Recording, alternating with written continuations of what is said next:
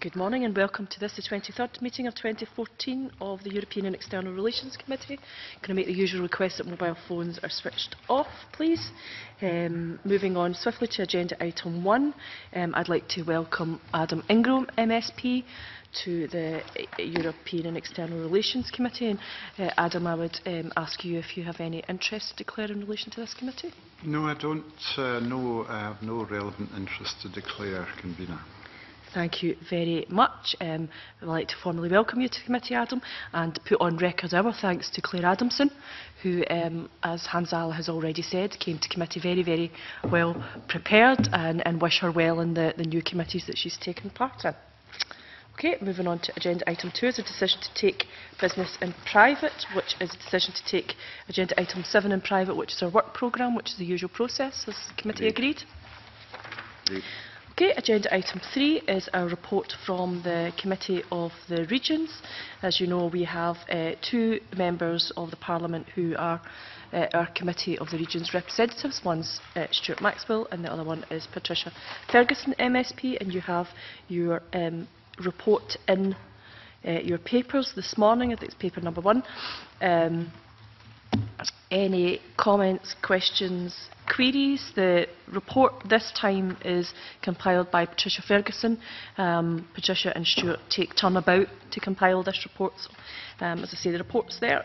Any um, questions or comments? Willie? Thanks very much, Convener. I mean, the, the, the report, the agenda for the meetings looks uh, fairly extensive and very interesting, and there's a number of subjects there that have came up at this committee for our members' interest. For example, climate and energy, TTIP is there, the blue economy, uh, you know, the potential of developing the seas and so on, reconnecting Europe's uh, ICT issues. So there's a whole load of things on the agenda there. I just wondered if there's any detail on the deliberations of the committee from the member that in terms of the contribution that was made and the discussions that took place that we might actually benefit from. I wonder if we could perhaps seek that and get more information on some of this. Yeah, if, if there's specific items, yes, we can, we can raise that. Is it specifically the ones maybe that are of interest to this committee right now, whether there's been any I mean, those are the ones that, that occur to me as being interesting that have come up uh, here, but other members may have other areas there. I mean, there's a 40 odd items were covered during the two plenaries, I think, that are mentioned there, but it's really just the agenda we've got. I was just, once just wondering what actually happened during discussions of some of those items and whether our member could, could give us some kind of information on what thinking is and what development plans there, there may be there to, to bring these matters to our attention. So Okay. if that was possible, convener, I'm sure that would be of benefit to the committee. Yeah, think so. Any other comments? Rod? Uh, I'll just make a comment under the Justice and Home Affairs in relation to the comments made by the members of the European Parliament's Women's Rights and Gender Equality Committee calling for more EU-level action on gender violence um, and uh, a new strategy published in 2015. The Council of Europe, um, kind of the arm of the European Convention, as it were, uh, has obviously an Istanbul Convention. I think it would be helpful uh, if we could find some kind of uh, brief summary of that uh, for the committee and consider that in terms of its overlap with what's happening uh, in the European Union in terms of gender violence. It's quite an interesting area. Okay. are there any other comments on the, the Committee of the Regions report? Um, so we're looking for some additional information on decisions and discussions. Yeah. Some future time want to suggest as committee that we explore that area, but I think we, we need some more information Okay. on that overlap first. Okay, thank you. Any more comments? Adam? You know, do you have um, any sessions with the Committee of the Regions members, uh, Ms Ferguson and Mr Maxwell? Does the committee actually... We, we have engage- offered, we, we, we invite them to, to deliver the report. Um, in some occasions, that's, most occasions, that's not been practicable for them um, Right. because they're sitting on other committees and things at the same time we sit. Um, but certainly that's why we wanted the report. I think uh, Willie's point's pertinent. You know, it's, it's good having the agenda, Yeah. but what contributions took place, what happened, you know. Yeah, but- well, for example, with the, the TTIP um, discussions that, that we're having, it might have been interesting if um, either one or the other had come along and sort of given us a flavour of the debate that's happening in Europe in the Committee of the Regions, Yeah. just to, that might inform us a little bit in terms Well, we're of still continuing with our inquiry in TTIP well into Yeah. the, the new year, so that's maybe something we can look at. Um, either some written evidence or, as you say, if they can make it along to committee to give us Mhm. a flavour of what's happened at committee of the regions level. Yeah, no, that's Yeah, a good, par- good idea. particularly in terms of sub-state level and how people are responding to Yes, yes, cities and regions, and yep, indeed, indeed. Point well made. Yeah? Okay, Chair, um, Hanzala. uh, I think I agree. I think um, at least one of the, the members should really be here to assist us in getting the flavour, as you quite rightly point out. I think it's important that uh, we should have had at least one member in attendance.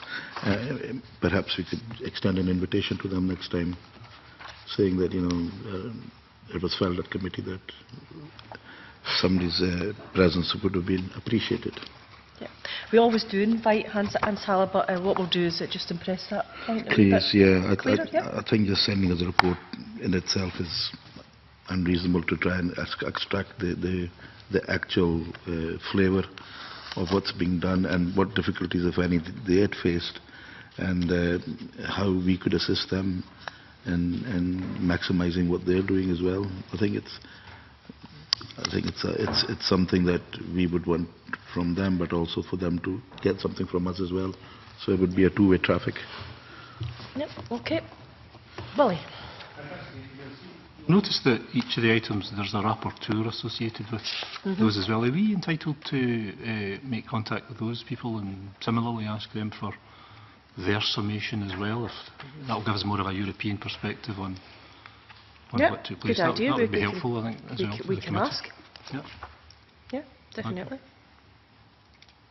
Thank Okay, is that completed with the Committee of the Regions report? Yeah, excellent. Yeah. Um, happy to circulate to relevant committees? Maybe highlighting some of the points that we've, we've pulled out, yeah? Okay. Chair, That's that's, that's exactly, I think that reinforces the view of attendance. I think uh, uh, that would be really useful because any input that would be added to the report at committee would be another useful tool for other committees to get, rather than just getting a bland report as it is. Yeah. Okay, thank you. Agenda item four is uh, your next paper, which is a paper on uh, their usual uh, reports um, from the Scottish Government um, on the work that, that they are doing, um, generally EU structural funds, Horizon 2020, our foreign languages interests that we have on this committee, and any transposition of um, directives. So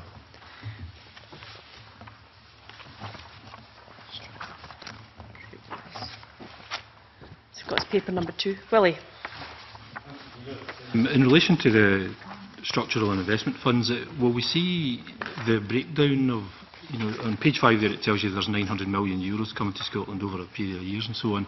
Will we, will we get to the point where we might see a breakdown of where that money goes and what projects it relates to and so on? Again, I refer to my our friend and colleague Kelly Reedy who raised this regularly to be able to get some kind of insight as to how the money is dispersed and shared out across various projects in Scotland. Will we be able to see that through that programme, do you think? Um, I think we can ask for it. I think what's happened is bec Mm. because it's taken such a long time for the structural funds to kick into place, then some of the programmes are just starting now. Mm. Um, so, yeah, it's something maybe we can we can look at.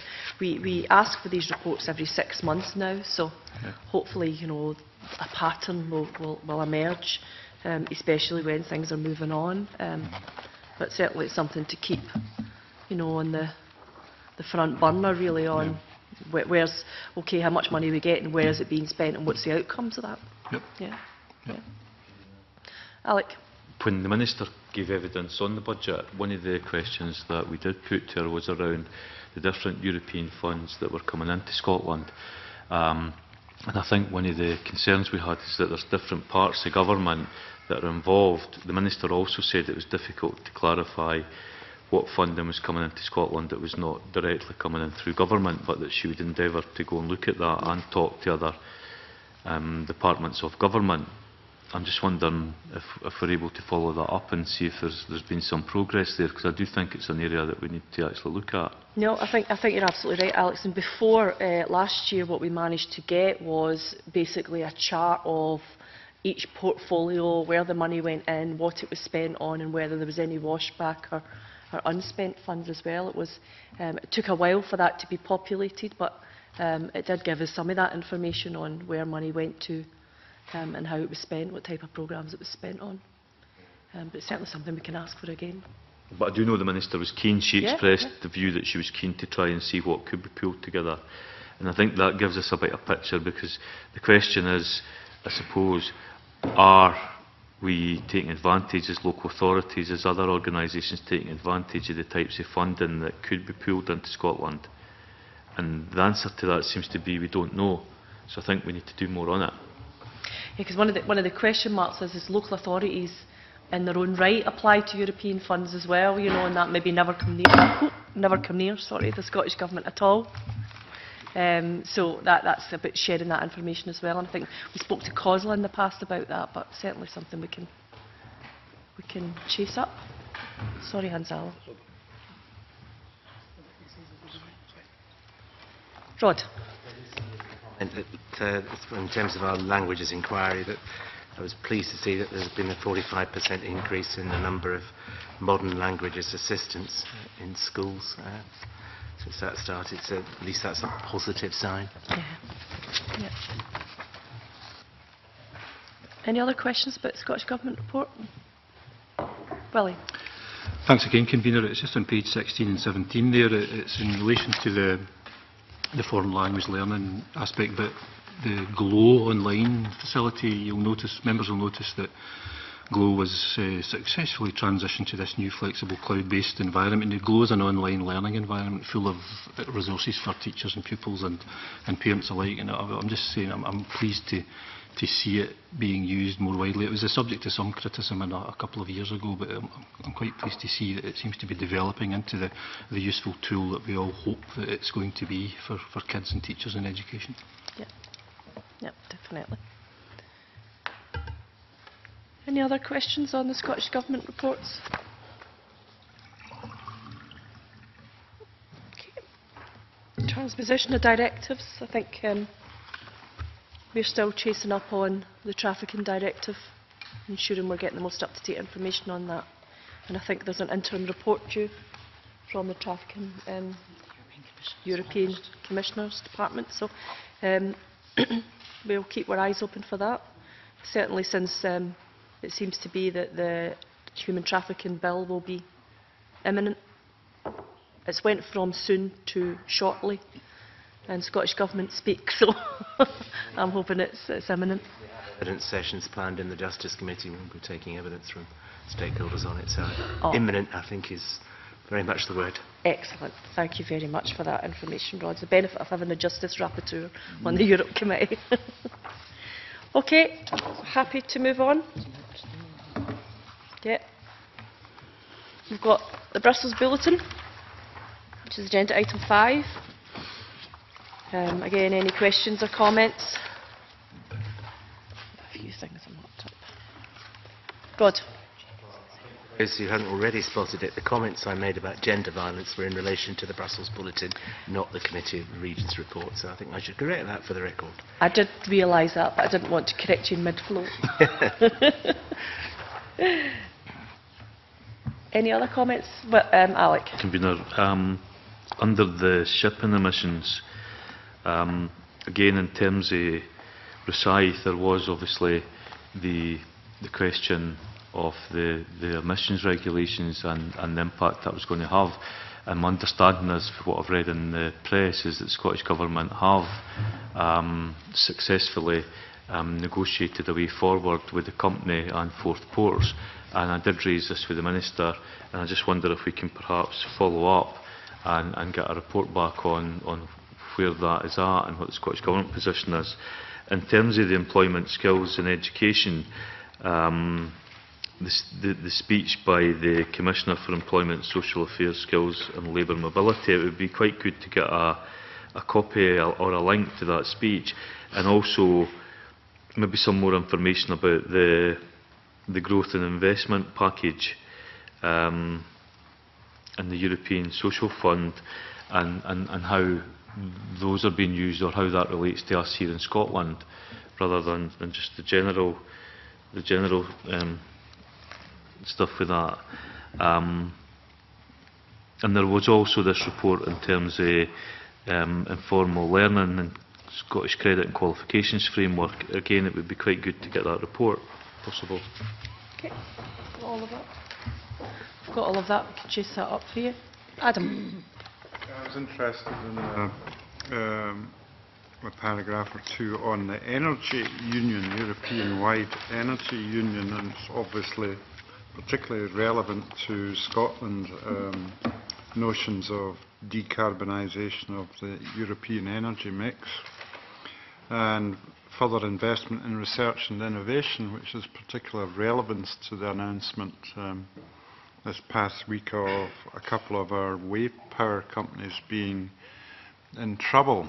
Um, and indeed, European state aid rules were uh, mentioned in that context as well. So it would be useful maybe to get some sort of uh, indication of how Scotland will play into this, this particular um, feature.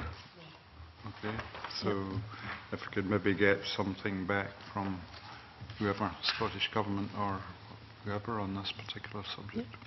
Yeah, we've got, we've got that. Any other comments on the Brussels Bulletin? Willie? Thanks, Convener. It's on page four there in that creative industries section. That, this, I think, came up at our committee previously where there seemed to be opportunities for media companies throughout the European Union and Scotland in particular to, to exploit some of the initiatives going on here. My question was really to ask how, how do our SMEs or our organisations that might have an interest in this be made aware of this? Is there any way we can get this Brussels bulletin out to a wider audience? Uh, I'm sure it's online and it's posted and so on, but signposting these things is often the key step to finding out anything. You know, I'm sure our companies, local companies, would be interested in this kind of initiative. Yeah, Ka- Katie's just reminded me that the last time this was raised, we, we raised it directly with the, with the organisations. Um, Uh, obviously, Scotland Europe is very limited in the, the scope that it's got in, in contacting people, but certainly the, this, this committee and the work that it does can, can do some of that as well. But yeah, maybe just, you know, as you say, signposting. Um, it's always been an issue when we've talked about any European funding that, that comes through through Scotland and how do people get access to it, how do they know it's there. Um, that raised awareness situation. I know that Scottish Enterprise do a bit of that. Um, and certainly Scotland Europa do a bit of that as well, but um, maybe it's a bit more incumbent on us all to do a bit more and raising awareness, but we can do the direct. There are initiatives about exploiting and protecting, preserving our cultural heritage throughout Europe, so there, there's, there's bound to be an absolute mountain of material that's around that, that probably isn't digitised and protected for future generations, and there's lots of companies, not only in Scotland, but I'm sure throughout the European Union that would really like to participate in something like this. But to find out, first step in finding out that it's possible to, to become involved is a key step for them, I think. So anything that raises awareness amongst our companies in Scotland that there's potential here for them, I think would be welcome. Well, in that sector, then the, the Sector Skills Council skill set would maybe be the, the place to go because they obviously work with lots of, you know, individual, uh, very, very small companies up to, to larger companies as well. So that's maybe a, a route to go. Skillset's, the Creative Industries um, Sector Skills Council, yeah? Yeah, Hanzala. I'm just thinking, this should be on the website anyway. Sorry, should be on the website anyway. Um, so that, that in itself would help. But I, I, I know where you're coming from in terms of, excuse me, sharing it with uh, the industry itself. it might be an idea of sharing it with uh, um, Scottish Enterprise and Scottish Heritage and people like that as well. So we can share the, the linkage and we can make sure that their websites carry it as well. So that's another way of doing it, I suppose. But we would probably have to have a conversation with them in regards to sharing this type of information in the future. So it's a good point to bring up. I think it's, it's worthy of chasing up. Okay. Any other comments on a Brussels bulletin? No, I just wanted to raise very quickly on, on the very first page is the Juncker investment plan, um, which states quite categorically now that this is not new money, it's repackaged money, whereas I think the last time we discussed this we thought this was new money. Um, so that's, that's an interesting uh, um, you know, insight into that. Um, but also the fact it looks like it's going to be focused on infrastructure, but it doesn't really define infrastructure, whether that's capital projects or digital infrastructure, for instance. Um, so maybe, you know, keeping a close eye on uh, where Mr Juncker is going with his repackaged money, but also the fact that um, the European Investment Bank will take a much bigger interest in this, and the whole um, package of match funding, I think, seems to be much more reliant on private investment too um, and then the impact that maybe have on the access of local authorities and other third sector organisations to, to get involved in that. But maybe just something we keep away their eye on and, and ask for some uh, deeper detail on what the plan is. Okay, happy to leave the Brussels, bu Brussels Bulletin at that point and bring it to the attention of the relevant committees across the Parliament. Thank you very much. Um, I think We're going to suspend for a few minutes to allow um, our visitors to take their seats for the round table. Um, if maybe we'll give it five minutes, I think, and allow people to get settled. So back in your seats for 9.27. Thank you.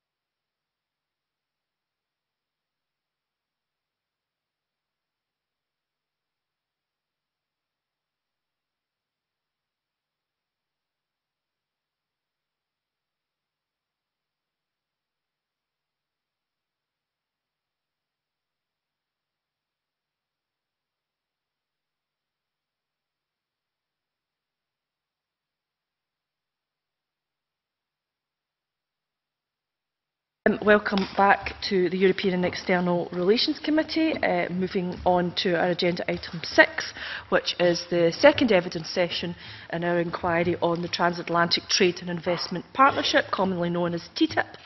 Um, we have a number of guests for our round table today, and what I uh, uh, intend to do is just to go round the table to allow people to introduce themselves and very, very briefly uh, give us um, the, the, you know, the reason why um, your organisation or, or your industry or, or your sector is, is interested in this topic. Um, obviously, I'm Christina McKelvey. I'm the uh, convener of, uh, of the committee, and if um, we quite like to get a bit of a free flow of conversation around the table. So uh, if you can just channel maybe your comments through me, and keep an eye on me. I'm pretty good at picking folk up and making sure that everybody gets their say. And if you sit too quietly, I will come and say, have your say as well, because I don't want you to go away and think that you've not um, had um, a decent opportunity to participate in this. We're very, very keen to get um, everybody's um, views on this, this issue. It's something the committee and MSPs in particular have been lobbied very, very heavily on. we had trade unions, third sector and uh, World Development Movement, NFU, organisations like that two weeks ago.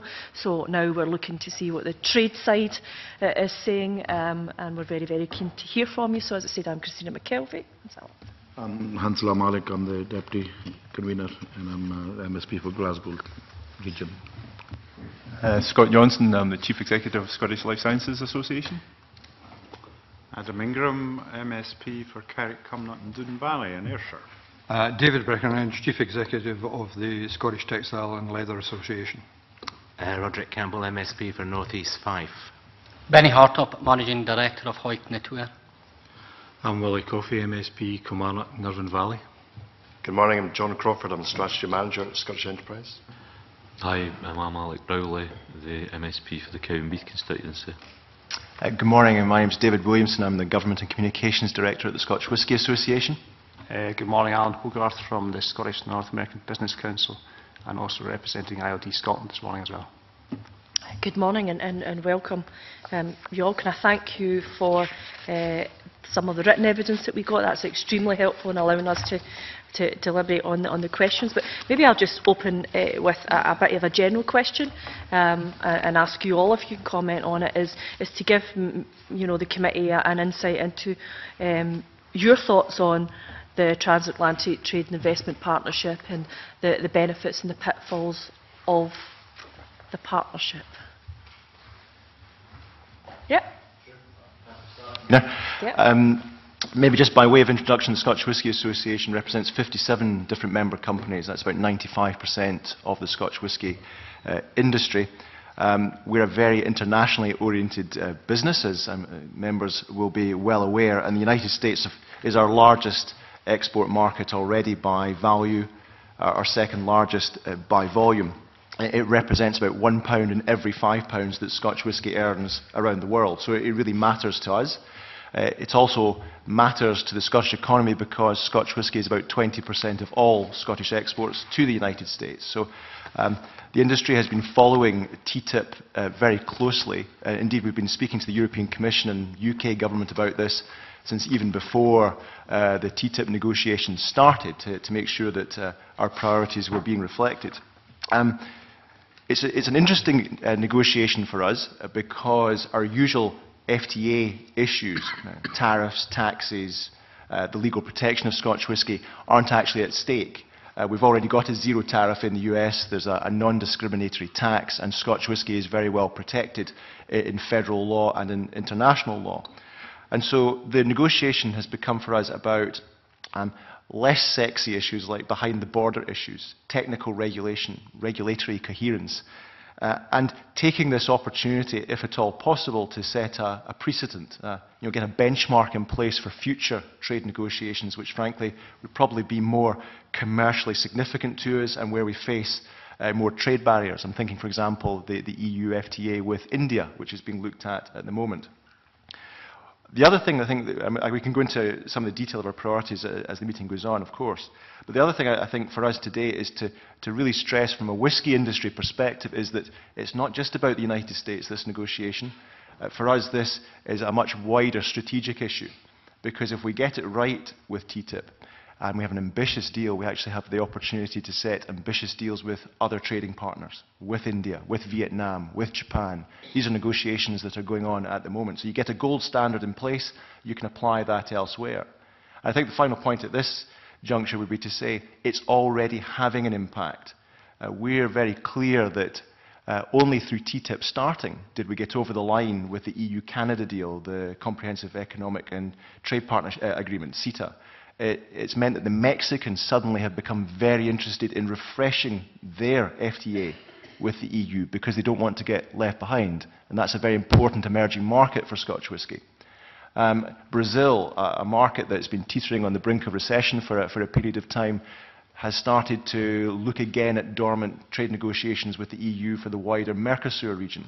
So this is an important deal both in terms of exports to the US, um, and there, there are potential commercial benefits there uh, through that gold standard. But we also have to have a, a wider perspective, and it's having an impact in other negotiations that are on the go and potentially could be very significant in terms of setting that standard elsewhere. Thank you, Alan Hogarth. Back up what David said, I think the opportunity is a once-a-generation chance to try and reach an agreement. Scotland's a small country trying to raise as much income as it can to pay for public services. The First Minister outlined last week the importance of growing the economy, TTIP provides that opportunity. Small businesses are crying out to try and break into the, that market. One of the issues, the tariffs, the tariffs, there's £1 billion a, a year that UK businesses pay in tariffs currently. Um, but the real, the real prize is also trying to remove duplication of regulations. For example, a soft furnishing company who manufactures cushions or mattresses has a burn test that has to, to satisfy Brussels. So they, so they put together the kit, it burns, it's safe. Then if they want to import San Francisco, they have to do the same rigmarole again.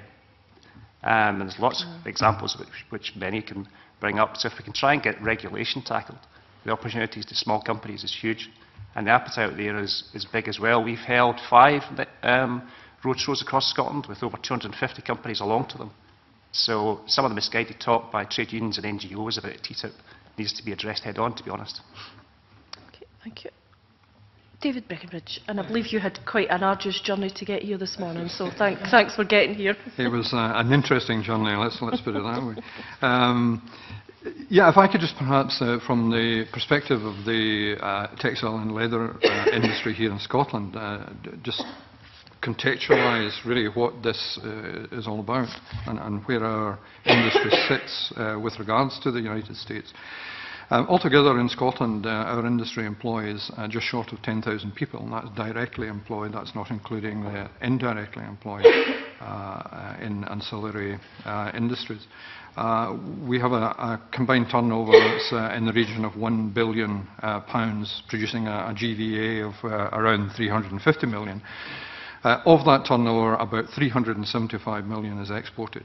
Now, uh, the thrust of our strategy, and we, we have a, a strategy in place in the industry that, that takes us through uh, beyond 2015. We're currently working on a, on a new strategy. but quite clearly, the impetus for growth is going to come through, or we would expect it to come through, uh, export markets. Uh, our industry now uh, has uh, reached a, um, a, particular stage, if you like, in its evolution, uh, where it's very, very much at the high added value end of the spectrum. we produce really top quality fabrics, top quality uh, garments, apparel, uh, and so on. So typically our customers would be some of the major global brands like Louis Vuitton and Hermes and these sort of people. Um, and those actually, uh, those products will go into these particular customers and then be exported all over the world from, uh, from the, the, those particular markets, uh, really from France and, and primarily. But what we're, we're doing in Scotland uh, at the moment is uh, very, very much developing uh, a brand identity of our own. Uh, and that is going to be central to uh, our uh, growth in the future. And looking at certain markets, it's, it's clear where the potential lies for that growth. Uh, so the Far East, Japan in particular, despite its economic problems, is still a hugely important market to us. Uh, China is, uh, everyone talks about China, and China is potentially, again, a huge market. But that's a long, long way to go for us in terms of, uh, of development. Uh, the United States is the obvious one. It's the biggest luxury goods market in the world uh, by, by some distance. It still remains that. So it's hugely important to us. Uh, there, there, are all sorts of reasons why it's an attractive market to, to, to approach. There's a, a, reasonably common language. There's um, a, a, long history, I think, of understanding of what uh, Scottish luxury textile product is about. So the Made in Scotland brand is, is hugely important, and, and, that's something I'll come to uh, later on. Uh, however, there are uh, serious barriers uh, in place at the moment to growth. And this is what we're hoping that this particular uh, agreement, when it comes, and we do hope it comes, we're very much uh, behind the, the, need for uh, a transatlantic uh, trade agreement of this kind. Um, we're, we're, looking at, in particular, uh, tariffs as a, a, unlike the whisky uh, trade. Unfortunately, tariffs really is a, a, huge issue for us. Not least the, the weird and wonderful uh, sort of discrepancies that there are, and, and my colleague um, Benny Hartop will, will, give some detail to that later on. Um, but, but, there is a, a, really confused situation where some uh, particular products attract uh, one uh, level of tariff and others attract either a much, much higher or a much, much lower level. It's, it's extremely confusing. Furthermore, it's not a level playing field because there are uh, countries out with the EU uh, who have zero tariffs on their goods going into the States. Uh, now, we are directly competing with them, but competing very much at a, at a disadvantage. Uh, a, because they're, they're, coming usually from low-cost uh, countries, uh, but also B, because the, the rate of tariff is, uh, well, is, is zero. and we're paying perhaps 14% or, in fact, more on, on, some goods. So that's a serious issue for us. I mentioned also um, the uh, Made in Scotland uh, brand. And there's some confusion at the moment. I, I, have to confess I'm not quite clear about how this is uh, developing. But there has been a suggestion that the American uh, side, if you like, in these negotiations is insisting on uh, a definition in terms of uh, a country of origin label. So a Made in Scotland label, let's say. They're insisting that I think it's three processes um, at least three processes uh, be processes that have been carried out in that country. Now, that may, in the face of it, sound quite sensible, but the reality is that certainly in textiles, a lot of our raw material we purchase from uh, out with uh, out with the UK, out with the EU in some instances. So, you know, it could be Australian wool or it could be New Zealand wool. Now, that traditionally has always been the case. We don't have the, um, the level of production in the UK of, of wool to, to, meet that demand. Uh, also, other fibres like cashmere, for example, most certainly comes from out with uh, our shores because we don't have the climate, despite the weather we've got today. Uh, we don't have the extremes of climate. We, you need a very hot uh, and a very cold uh, um, uh, sort of spectrum of, of climate to, to, produce cashmere. Uh, we don't have that. So we purchase our, our fibres from outside the, the, the, country very often. If in fact the Americans are going to insist on this three processes rule, then that's going to mean that we perhaps cannot uh, put a made in Scotland label on our product, despite the fact that the, the, the, the, entire process, other than the purchase of the raw material, has uh, been Now, we're not sure about that, uh, and if anyone is able to clarify that for us, that, that would be uh, hugely useful. Um, but there are other technical barriers, and uh, they've been alluded to already by Allan, and I think uh, these are serious matters actually for the industry. It adds a huge amount of cost when you have to employ a broker to ensure that your goods are taken through customs in, in the United States. That can cost something like 20% uh, onto, or add something like 20% onto the cost of your, your product. Now, why does that come about? Because it, actually the United States seems to us from outside to be an incredibly bureaucratic um, country in many ways, and certainly when it comes to customs regulations, that's most certainly the case. Um, so, uh, getting our goods into the States can be a headache. Uh, there are other issues, and, and, again Allan has alluded to this, on uh, testing standards, uh, which in textiles are extremely important. Uh, and, and that can be, again, it can be very confusing, it can be very costly, and it's actually duplicating what, what is going on elsewhere. So that, that's uh, a serious issue. Manufacturing identification codes is another one. They have one system, we have another system in Europe. We need some degree of harmonisation there so we know that we're talking about the same sort of thing. These are key barriers, um, technical barriers if you like, but, but barriers nonetheless. But finally, what I would say uh, is that uh, as far as we're concerned, uh, we have the product, we most certainly have the product, we've got the service to go along, along with that product. The United States presents a fantastic opportunity for us. Uh, we can grow business there, but we do need to have a level playing field. We shouldn't be competing against low-cost countries uh, who are being favoured by, um, well, by very favourable tariff rates, and that, that's not, not, not helping us at all. Um, and we need to have these, these other technical barriers uh, removed, or at, the, or at the very least harmonised. Uh, so uh, overall, that's, that's our position. Okay, thank you very much. I've got Benny and then John. Benny. Yes, so again, uh, maybe just some context on uh, my business. We are uh, a big employer in the, the border area, employing over 200 people, and the textile trade is still a very important part both of the Scottish industry and uh, the local borders economy as well. We currently export about 30% of our turnover to the USA, and that is by far and away the largest market uh, for us. It's mainly cashmere that we sell into the States at the moment, and this attracts a 4% duty tariff. Now, 4% is bad enough on a high-value product. It adds a considerable price uh, for the end customer and certainly detracts from the volumes that potentially we could sell. However, if you compare that to the woolen spun tariffs, which attract a 16% duty rate, it just, just kills any opportunity stone dead. I mean, this is a real barrier to entry, and I mean, we just have to get a level playing field. I mean, I had uh, the sourcing director of Brooks Brothers in my factory last week, and they buy uh, a large uh, part of the, their cashmere business from us at the moment.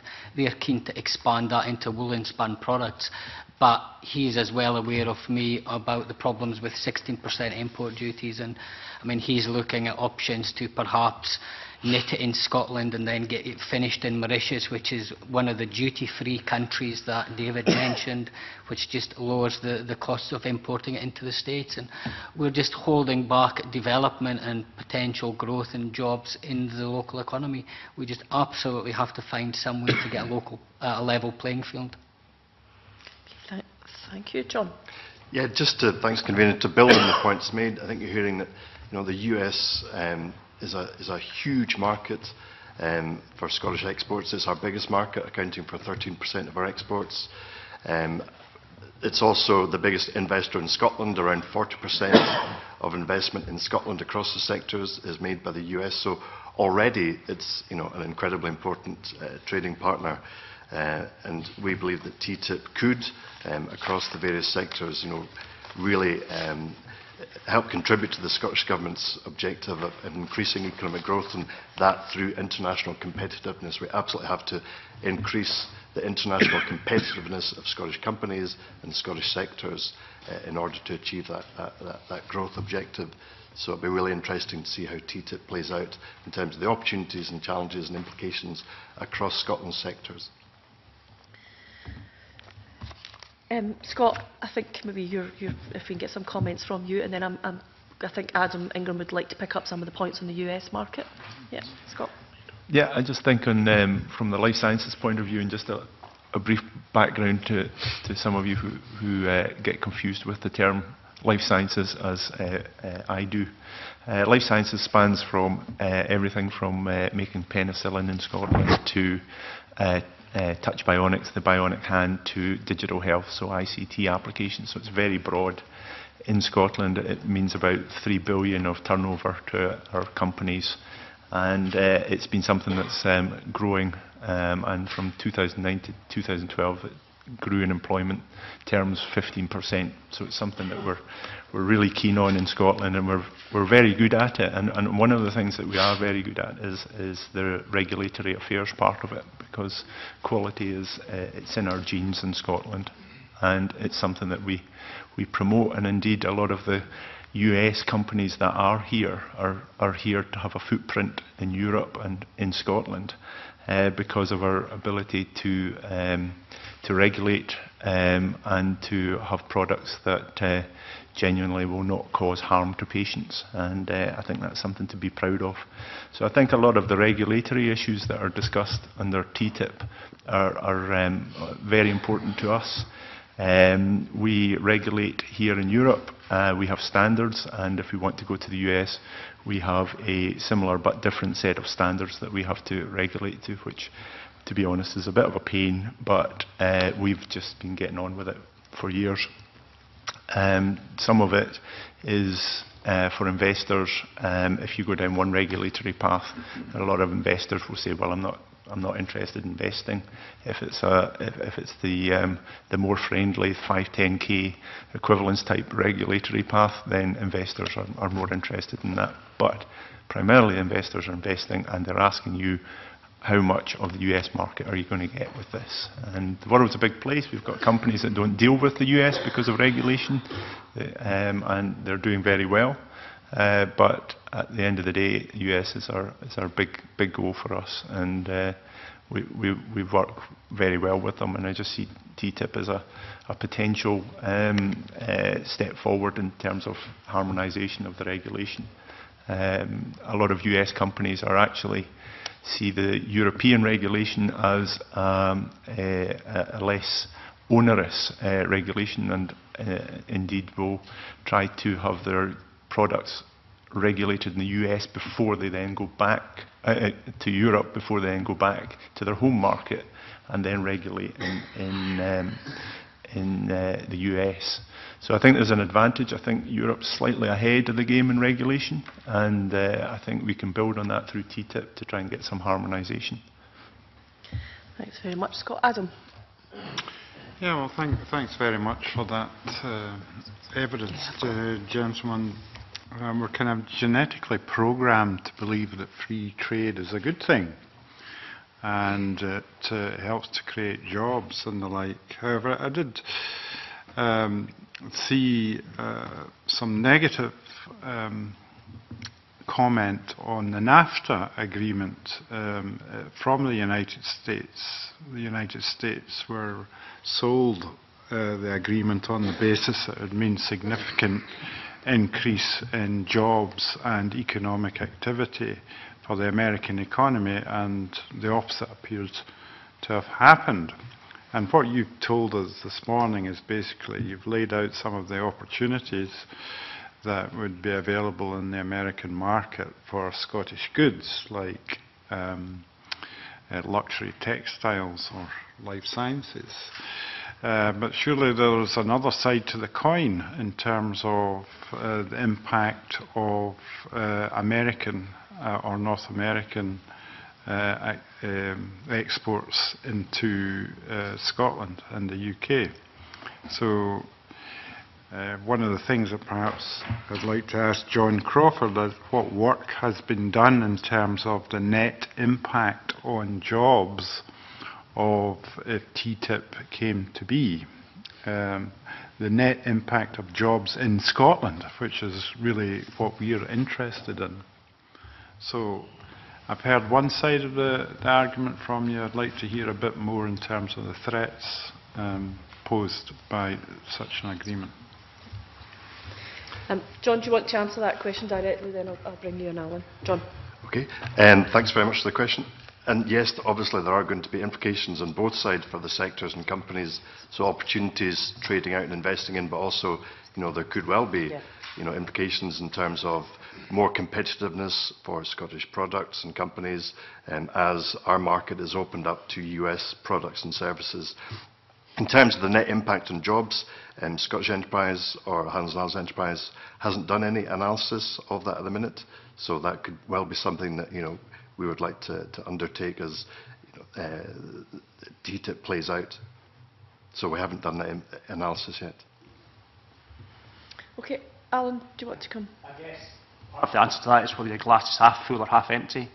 Um, and in my case, it's always half full. Um, the opportunities are there. as Benny is saying, um, for him to try and grow his business. And there are thousands of companies like Benny's who are trying to create new, new export markets and create jobs by exporting to the US. There's already 2 million jobs that coexist between the US and the UK. And there are hundreds of big US companies located, for example, Morgan Stanley in Glasgow that does lots of um, the back office stuff and financial services, and many other US companies who come here. So we could sit back and worry about it, but let, let's be positive, look, look forward to trade opportunities. And I accept it's not a zero-sum game, that there'll be some jobs that will be created in the US to sell into Scotland, but let's try and do more to sell into there. Well what I would be a bit more comfortable if I wasn't depending on blind faith as... Uh, but, but with due respect, John Mark, you're, you're, um, there, are, there have been many other trade agreements across the world. David mentioned the Canadian-European trade agreement that comes into place uh, next month, um, and we'll see opportunities arise from there. So it's not an unusual step for nations to reach trade agreements or trading blocks to do so. And free trade has, for centuries, proven, and Glasgow was built upon free trade uh, tobacco lords and all the others. So it's not something that Scotland uh, hasn't done in the past.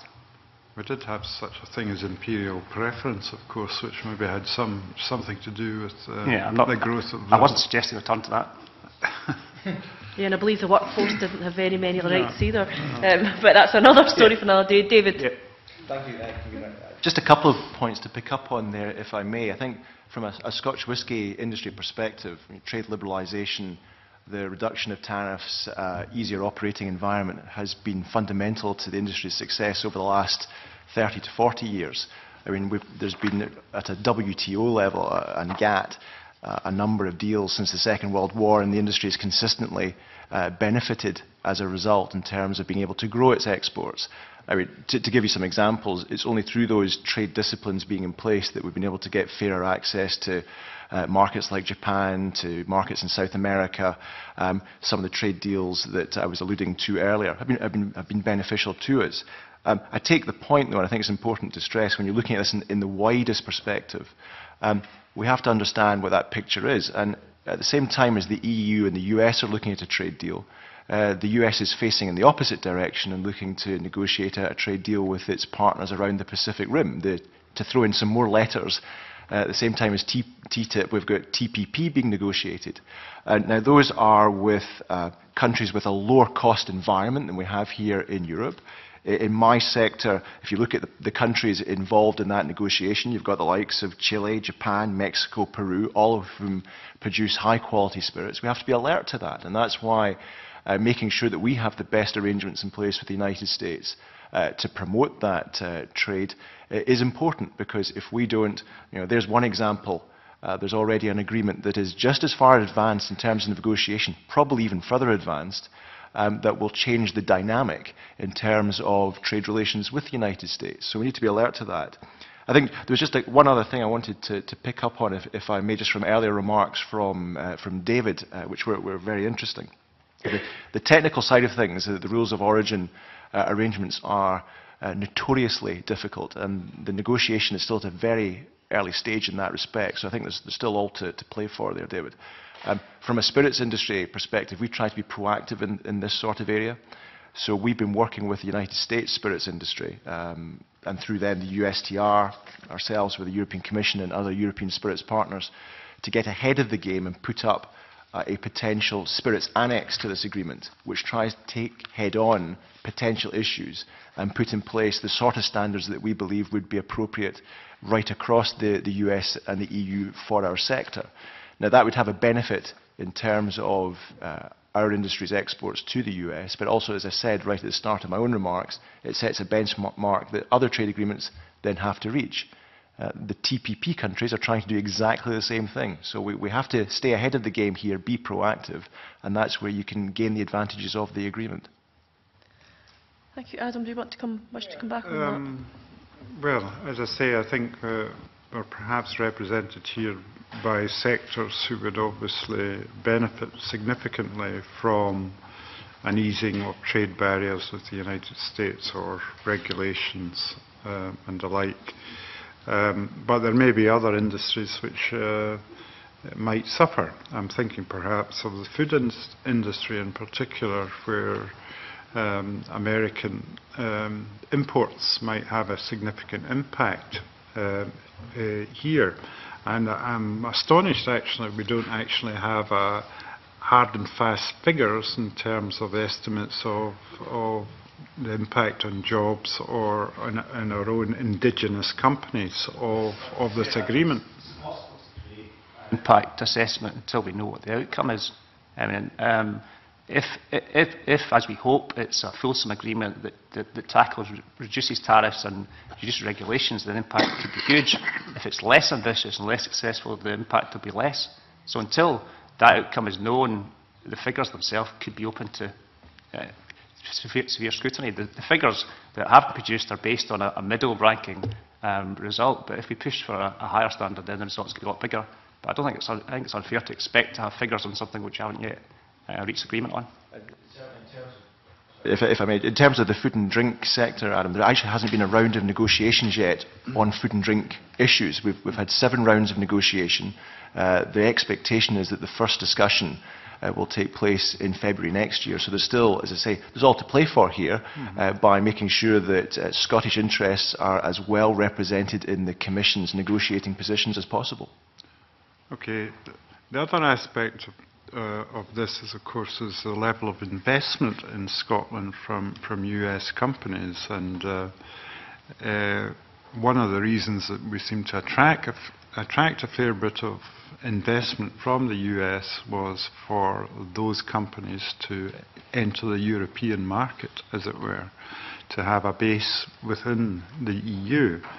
Now, if we're going to liberalise um, trade and investment between the US and the EU, is there not a threat of disinvestment in Scotland as a consequence of that? Because uh, people can... suggest it's the opposite.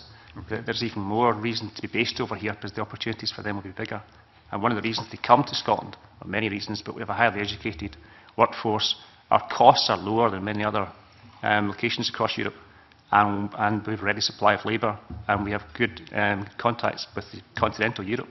So the reasons why they could come could, could become more, as long as we avoid increasing costs on business, which some, some people wish to do, then, the, then trying to attract to Scotland could prove more difficult. Right. Just to build on that, as I said earlier, 40% of Scottish investment comes from um, the US, and that's compared to an overall UK figure of 26%. So it just shows the attractiveness of Scotland um, as, a, as, an investment location um, for US companies. And just to also that um, that investment, 40% of Scottish research, research, and development expenditure you know, comes from these US companies. So it's incredibly important when the US companies come in here and they're creating jobs. I know that Scottish Development International um, have helped to secure over 13,500 jobs from US companies um, over the last five years. We've also got uh, major employers such as Amazon that employ 3,000 across four, four, sites in Scotland. We've got Morgan Stanley, as I alluded to earlier, employing 1,200 in Glasgow and Hewlett Packard 1,400 in Erskine. So US investment is incredibly important at the minute. I think there's a strong connection. Scotland is incredibly attractive as a place to invest, particularly for US companies. So, you know, building, if, if, if, there, if there are things that could enable that, make it easier, then, you know, surely it's got to be a good thing. There is also a good example. Sometimes American businesses are portrayed as being uncaring large multinationals that are just over here to kind of take advantage of us and they head, head back home.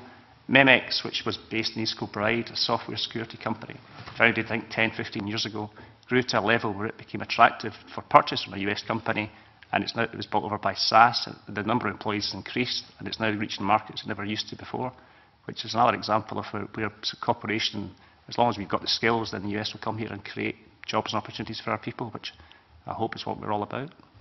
Okay, Scott.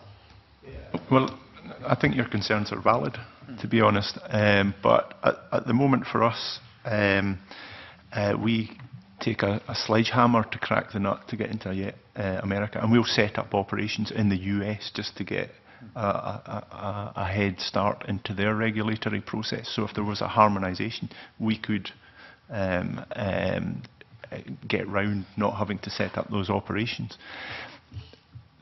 The, the barrier that the US companies have, or the reason that they wouldn't stop investing in Scotland, is it's the people, it's the quality, it's that regulatory framework. And we've tried um, through uh, um, uh, outsourcing uh, our manufacturing um, to places like India or, or even to the US. And I think uh, if I look at the US and the NAFTA uh, agreement and what happened in the automotive industry where they tried to uh, out outsource a lot of their um, uh, quality uh, automotive, job, automotive jobs to, to Mexico. And in fact, Mexico had a better quality standard at the end of it. And that's why they've kept the manufacturing there. And I think that's the same parallel we can have in Scotland is that we could have an agreement like NAFTA for all the flaws, but at the end of the day, the American companies would want to be here, global companies would want to be here, and we have global companies trying to locate in Scotland. One of the issues we have in Scotland that I think is a, is a detractor is we don't have a notified body to regulate um, companies in Scotland. It's something as the Life Sciences Association we're looking to, to do. And if we had that, then that would be another incentive for, for companies from all over the world to come to Scotland to manufacture um, well-regulated, high-quality products, which then you could Um, um, um, send throughout the world. The, the, the outsourcing that um, GSK have done in, in India, for example, they've, they've brought it all back into Scotland, and we're seeing the plants for GSK up in Montrose and uh, down in Irvine as uh, you know their increasing footprint at the moment. So, so we've kind of been down that route, yeah. and you know it's coming back because of the, the, the good people and you know back to the research and development I think uh, a lot of the money that's going into research and development goes into our universities. But I think the important thing for me for the universities is that we are um, uh, uh, training and upskilling graduates that can come out that have uh, uh, an expertise in the quality and the regulatory framework We've been working with uh, universities like Edinburgh Napier and Glasgow Caledonian to make sure that the graduates coming out have that quality, have that regulatory skill, that you have a source of those people in Scotland. So we're working very um, uh, fleet of foot at the moment to make sure that we've got the things that the American companies just don't really get to grips with on quality that we can in Scotland. Okay, Rod Campbell next. Vina, I'd just like to follow up some of the themes that my colleague Adams already alluded to, uh, and particularly to pick up some points which were made in evidence in a previous uh, session by Stephen Boyd of the STUC, um, which I took to, to mean that, that it, wasn't uh, rejecting uh, the possibility, for want of a better word, there being a good TTIP, but just that the information and evidence wasn't currently there. Um, I think it's also been accepted in evidence uh, uh, before select committee in the House of Commons in London that the CBI hadn't done an economic analysis of the impact on different sectors. And Mr Boyd, when he gave evidence, said that even if the model that the Commission was using was correct, it would imply an annual increment in GDP of about 0.03%, and that the models being used to promote TTIP's benefit explicitly do not include those areas in which it could have a detrimental effect on growth and jobs. You mentioned uh, patents and the cost of drugs. Very important to remember that TTIP is not a free trade agreement, it's, a common, it's about common regulatory structures. Big pharmaceutical industries will seek to ensure that their patents are stronger, longer and more far-reaching. I think we know enough about the dissemination of knowledge on economics to know that that will have a negative effect on the wider economy over a longer period, and the models used just do not consider such issues. I'd like to put that out for general comment and discussion.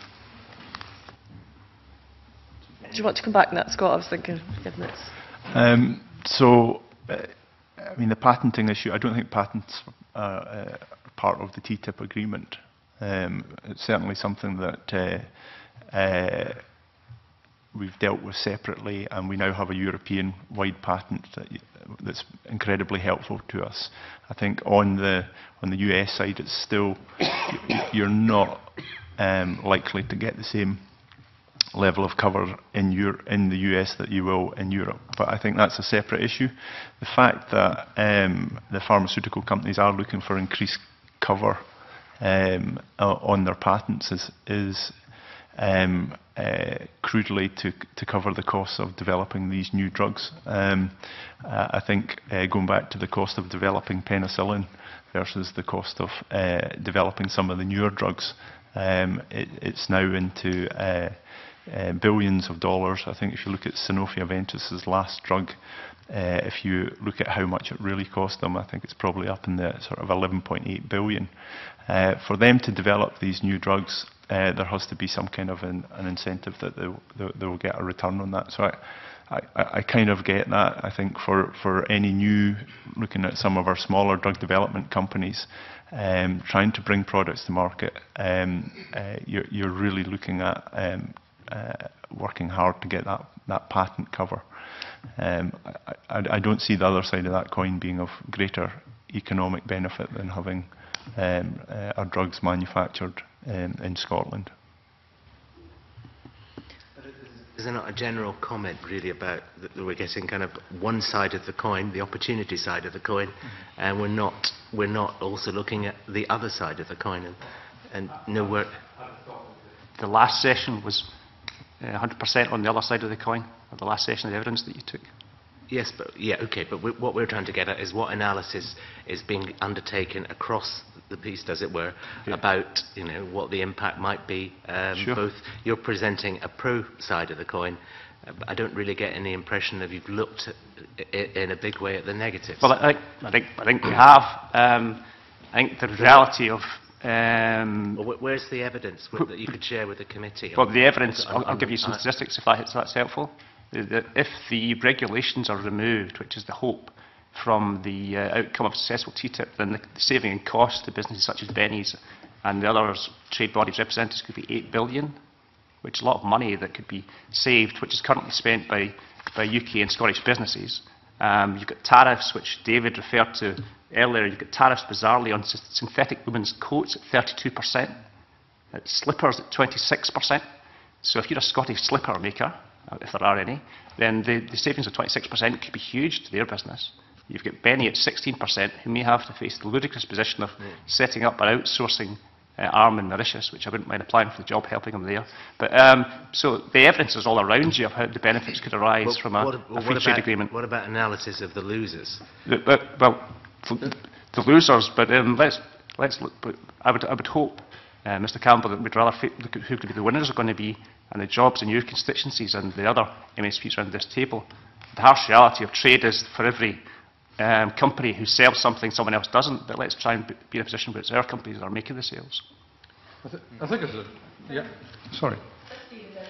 David, Beg your pardon. Thank you. Um, I think it's a trade body uh, representing the, the Textile and Leather Association. Basically, we can only look at it from, from the point of view what, what, what benefits would accrue to our members. And that's the approach that we've taken today. We've come along today to try to express uh, our frustration, actually, at the uh, the barriers there are to growth in terms of our business with the United States. And those are quite clear. Uh, Benny has articulated that perfectly well, I think, in, in, in very real terms.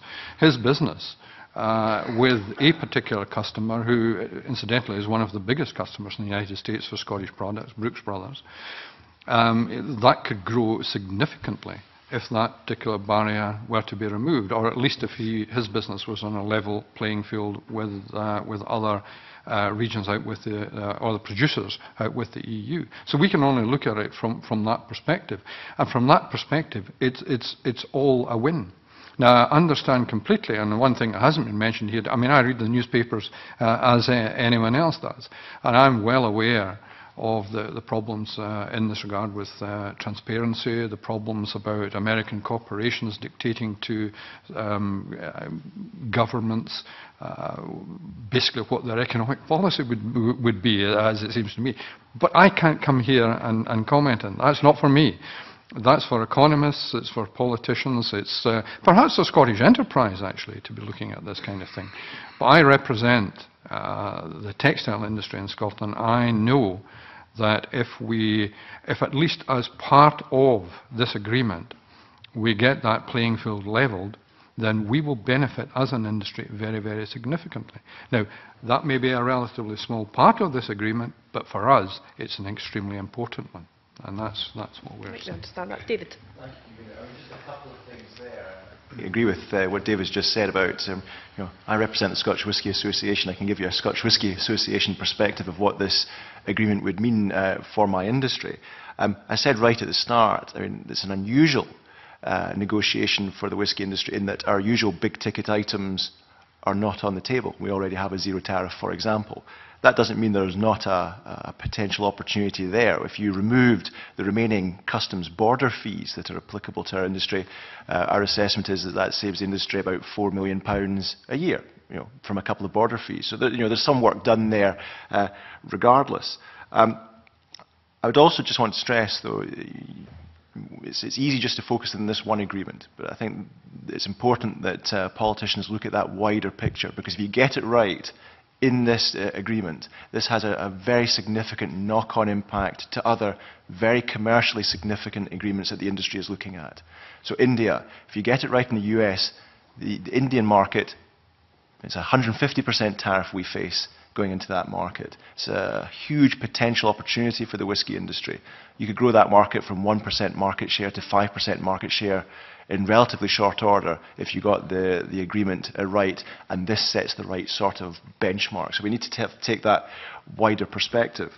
I think on the transparency side, um, our experience has been that there is um, no lack of willingness on the part of the European Commission no lack of willingness on the part of the USTR, no lack of willingness on the part of the UK government to talk to stakeholders, to take on board their priorities and to share information. I mean, we know the, the lead negotiator, uh, Mr. Bercero, very well. He, he understands the industry's perspective. He's willing to talk to industry. Uh, sometimes, though, you have to go and ask uh, to make sure that they understand uh, where you're coming from. So uh, I think uh, from our perspective, uh, we've been pleased with the, the opportunities we've had uh, through a number of different avenues. We're not shy about going and asking as an industry, and that's important.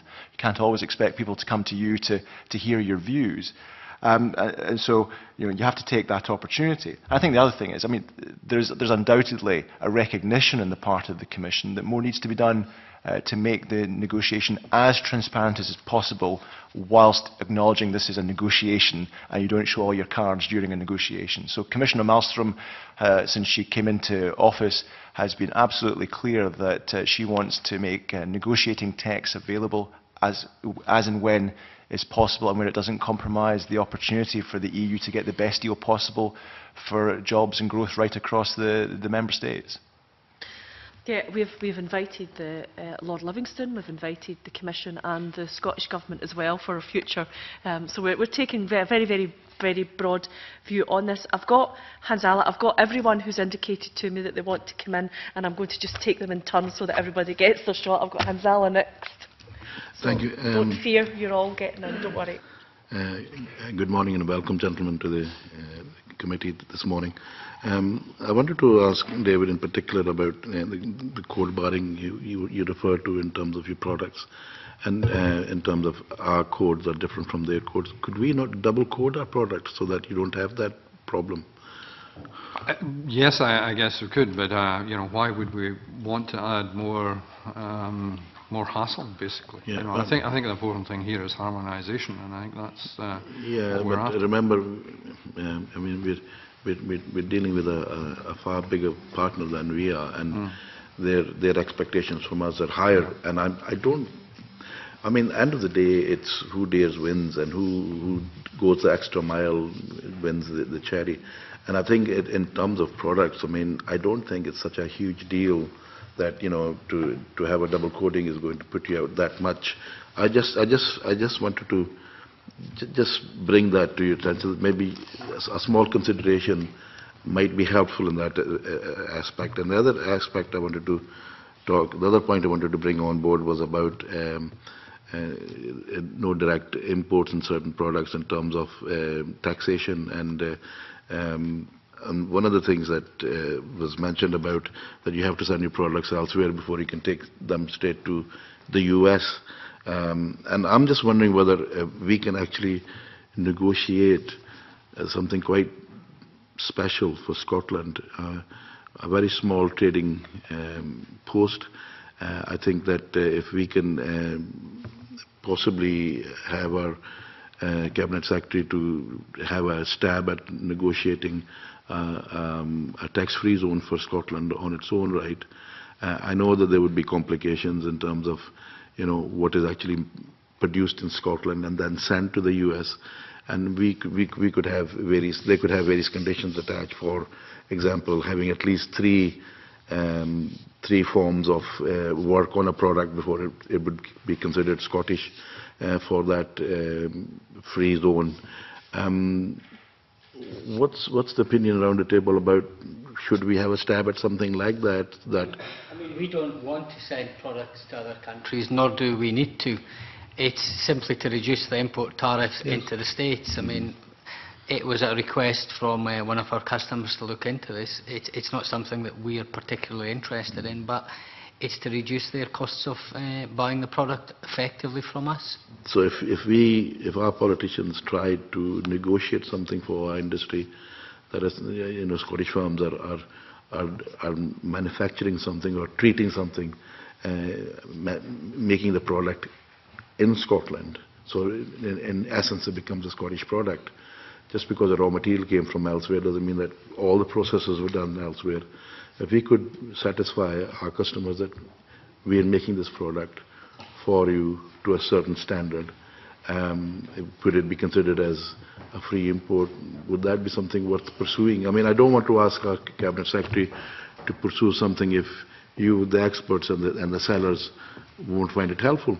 But if you think that that, that would, there's mileage in that, we could try and pursue that.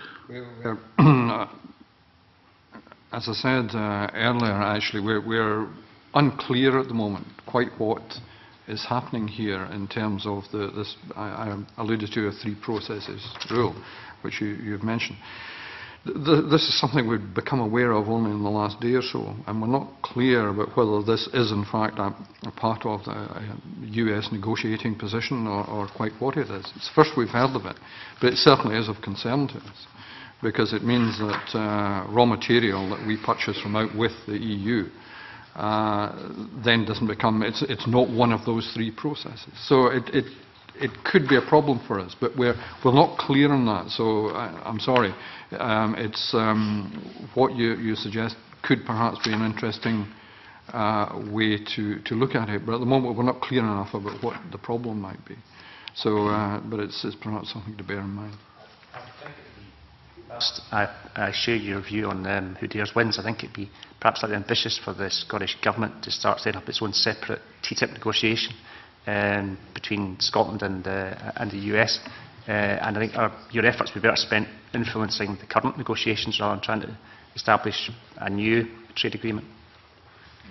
Okay. David.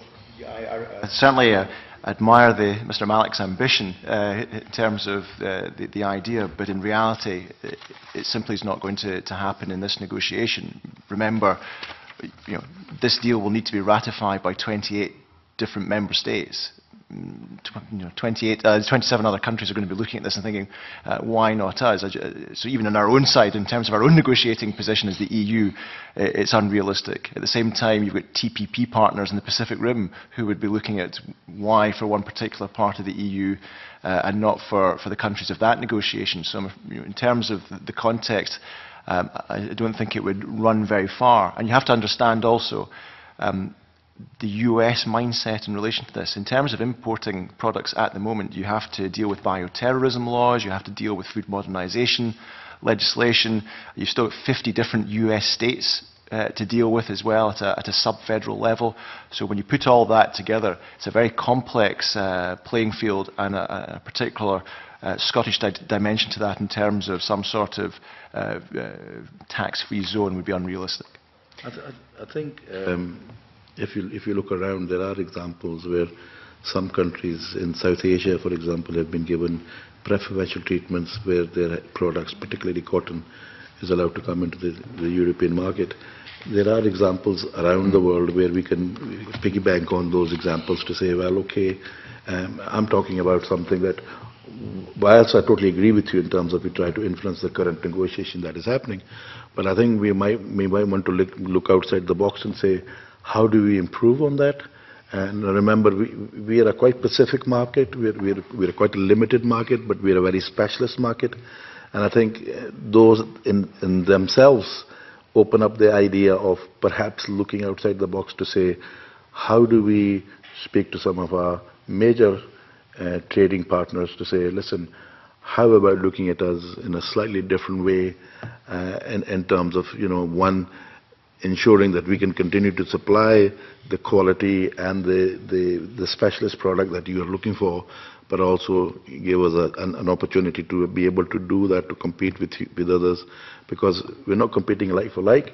We have something quite unique that we're offering them, and therefore they might, I'm just say, thinking that, you know, if we go to the, the US quite regularly uh, in terms of marketing Scotland and its products, perhaps we should, we should be going the extra mile ourselves to say, well, okay, we've got this on the table just now, and this is what is happening, and this is what the whole crowd of us are dealing with. However, it's only you, you're the ones who are going to tell us, well, there might be some and okay, it might not happen today, but the fact still remains that if we want to open the door, we have to start somewhere. before before I bring bring you in, I've, I've got a Scott and, and David, and I think maybe the Scots Whisky Association is uh, uh, in the best position to, you know, understand possibly that yeah, the Department of Trade and Industry might be very interested in Scotland going on its own on these things, given the legislation, the regulation is reserved to Westminster. So I think maybe that's something we should put in context. Scott and then David. Yeah, well, I'm happy to explore that with the Cabinet Secretary. I, I think it's challenging.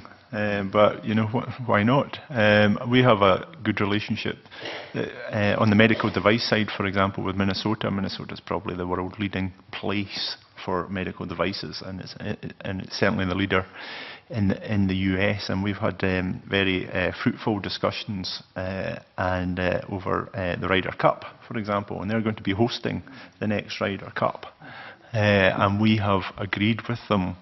Uh, and in fact, um, we spoke to um, uh, uh, Alex Neil at the time to see if we couldn't have some kind of a delegation going over to talk to um, uh, the Minnesota government and uh, industry in, in Minnesota about how we could work uh, more closely um, together, and that was welcome. So I, I think we're in an even stronger position now that for the next Ryder Cup we'll have uh, Nicola Sturgeon will actually be there because there will be a handover. So uh, there's an opportunity there.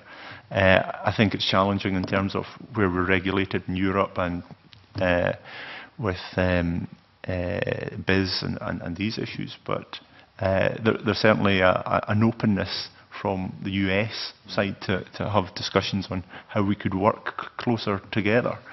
Uh, and certainly one aspect of that is, is um, our work with the, uh, with the NHS and, what, uh, and how we work very closely with the NHS. Uh, very conscious that the NHS is a big issue for TTIP. Um, that, that same issue is not an issue for us in, in Scotland because we have a good relationship on developing products for the NHS which will shift the balance of care, reduce costs, all those things. We are not interested in privatisation in the NHS in Scotland from an industry point of view and indeed we would probably support uh, uh, the Scottish Government in, in, in fighting against that as part of this agreement.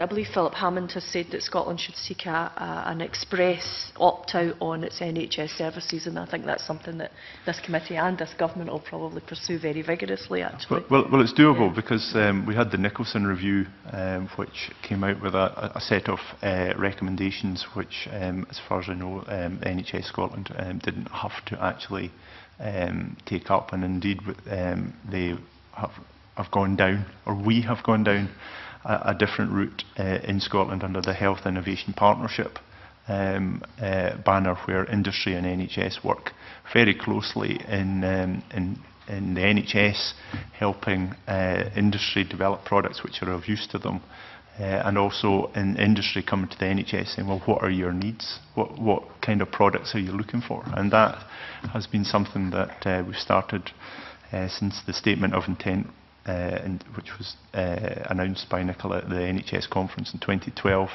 Um, that's now a position where we've got 55 companies working very closely with the NHS, developing products for the NHS, which once developed and bought by the NHS, NHS is not going to be the biggest customer by a way for us, but the fact that the NHS is buying Scottish manufactured products is a huge selling point. Absolutely huge. If you, if you look at companies like um, Touch Bionics, the bionic hand sell uh, mostly into the US, uh, but through that new partnership, they've managed to come from a position where they've never sold to the NHS in Scotland, never sold to their home market, to now selling six bionic hands. Yeah, David. Just to come back on uh, um, Hanzala's uh, suggestion, which uh, I agree. I mean, if, we, if such a thing were possible, that, that would be great. Uh, I think it hugely unlikely, however. I share David's view on, on that. I think it would be a hugely complex thing to try and uh, achieve.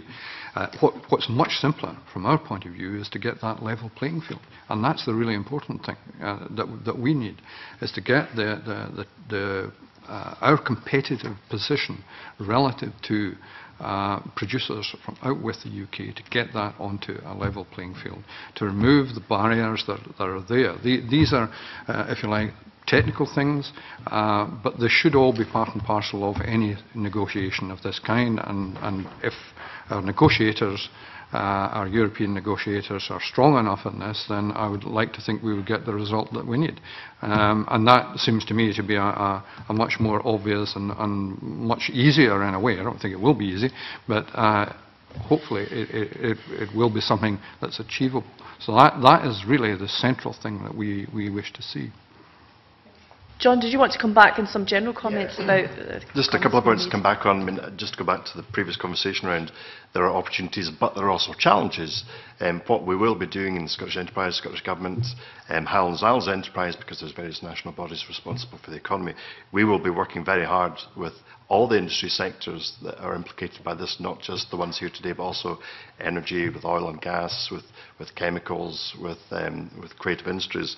So we've been working very hard with them and the, the national institutions to really look you know, once we get into these um, particular sector agreement and uh, negotiation discussions, really look hard at, you know, what's happening, what the implications are, um, and make sure that, you know, we're playing Scotland's advantage. The other thing I'd like to say, I was speaking to a couple of MDs of companies that they do trade with the States, um, and it just brought home, you know, the, the, the, the scale, whilst the US is Scotland's biggest export market, and many uh, Scottish SMEs are very keen to export there, it's a very complex you know, market. There's over 300 million people. There's 50 states, all with their own regulatory frameworks. So it's a very complex market to get into if, you, if you're not aware of it. So anything that can help to, you know, make that transition, make that journey into what is a complex market um, would be welcome, particularly for Scotland, um, which has a very broad uh, SME base, 300,000 SMEs, the vast majority of whom are 10 employees or less. So it's, it's really hard, really important that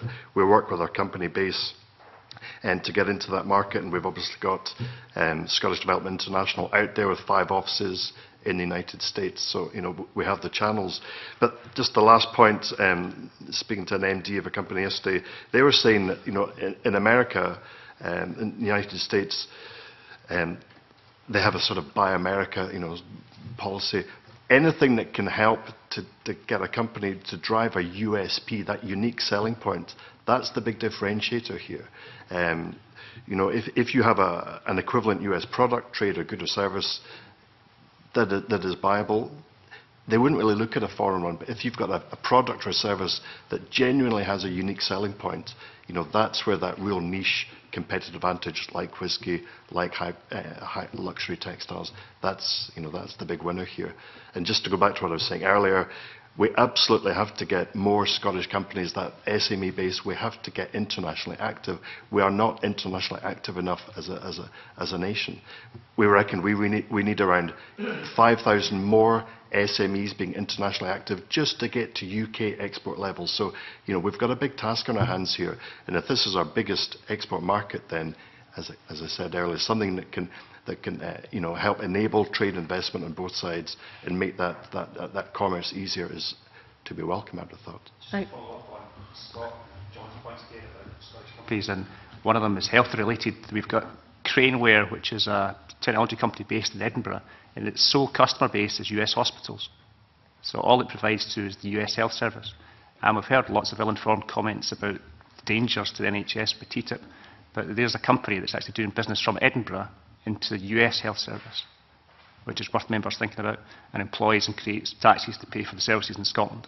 We also have Skyscanner, a travel-based technology company, started in, in Edinburgh. Small, six, six people started up next to Edinburgh University because of the excellent graduate it produces. It's now got an office in Miami and it's taken on Kayak, which is another uh, travel technology business in the Americans' backyard.